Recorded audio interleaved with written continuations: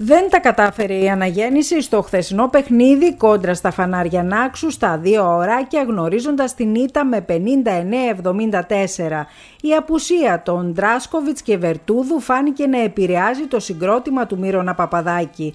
Το νοθρό ξεκίνημα έδωσε την ευκαιρία στους φιλοξενούμενους να αποκτήσουν εξ αρχής προβάδισμα που διατήρησαν και στη συνέχεια.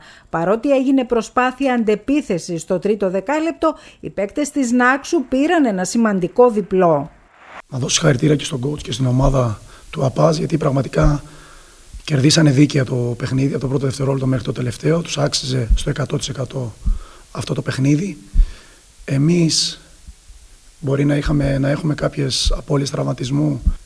Ε, θεωρώ ότι η αλήθεια είναι δεν προετοιμαστήκαμε κατάλληλα για αυτό το παιχνίδι. Ξέραμε τι θα αντιμετωπίσουμε σε γενικές γραμμές.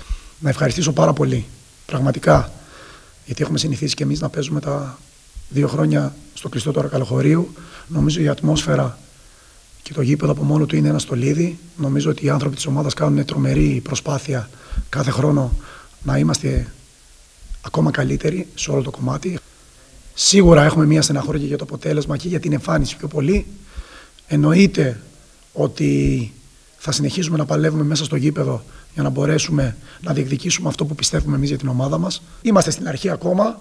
Εμείς έχουμε πει και το ξαναλέω ότι η ομάδα θα κάνει σταθερά και καλά βήματα και δεν πρέπει για κανένα, για κανένα λόγο να απογοητευόμαστε. Είμαστε πολύ απογοητευμένοι γιατί δεν καταφέραμε να βγάλουμε την ενέργεια στο πρώτο ημίχρονο που θέλαμε, ε, έχοντας ως αποτέλεσμα να προηγηθούν με μια πολύ μεγάλη διαφορά, την οποία και προσπαθήσαμε να καλύψουμε στο δεύτερο ημίχρονο.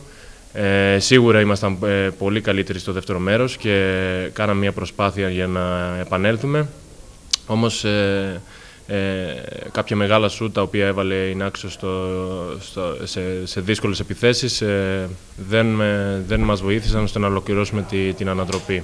Πριν το παιχνίδι κρατήθηκε ενός λεπτού σιγής στη μνήμη του αδικοχαμένου Γιάννη Σμυρνάκη που είχε διατελέσει μέλος των Ακαδημιών της ομάδας της Αναγέννησης με τη συγκίνηση να είναι έκδηλη στις δηλώσεις του Παντελή Μαραγκάκη αφού μεγάλωσαν μαζί με τον άτυχο Γιάννη ενώ υπήρξαν και συμμαθητές. Είμαι πολύ στεναχωρημένος για το σημερινό παιχνίδι γιατί πραγματικά θέλαμε να κάνουμε μια νίκη αφιερωμένη ε, στο Μίλοβαν.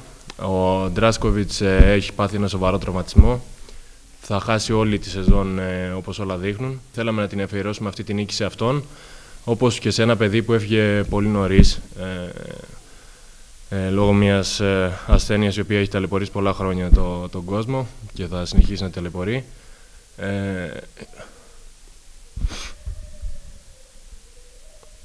Στην ανάπαυλα του αγώνα η αναγέννηση τίμησε τον Περιφερειάρχη Κρήτη Σταύρο Αρναουτάκη για την προσφορά του στο κριτικό μπάσκετ και την ομάδα. Την πλακέτα παρέδωσε στον Περιφερειάρχη Κρήτης ο Υφυπουργός Ανάπτυξης Μάξιμος Ενετάκης εκφράζοντας τα συγχαρητήριά του για το έργο που προσφέρει στον αθλητισμό και την νεολαία η Περιφέρεια Κρήτης.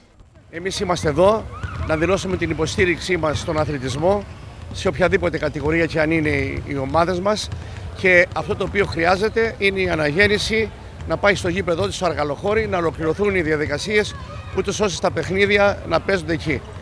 Καλούς αγώνες, καλές επιτυχίες στις ομάδες μας. Πρέπει όλοι μαζί, η ηγεσία, οι τοπικοί φορείς, να στηρίζουμε τον τοπικό αθλητισμό και να φροντίζουμε για τις ε, ομάδες μας, για τις υποδομές τους, ε, να μπορέσουμε να βρίσκουμε τους πόρους αυτούς ώστε να μπορούν να εξελίσσονται και να ανεβαίνουν τις κατηγορίες.